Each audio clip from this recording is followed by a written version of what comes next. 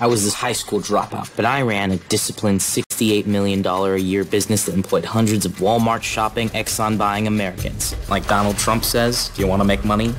Stick with what you love and know.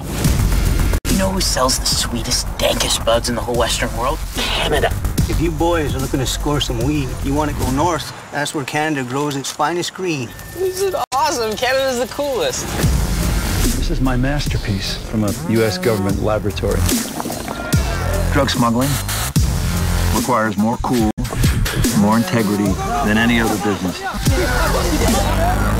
It's only the beginning, guys.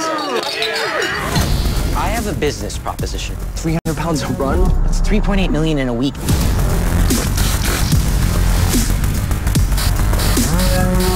I got the franchise for this part of the world. You understand? Give me the bag.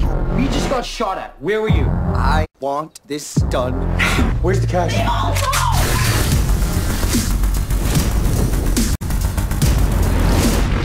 I'm in charge. I thought we were partners.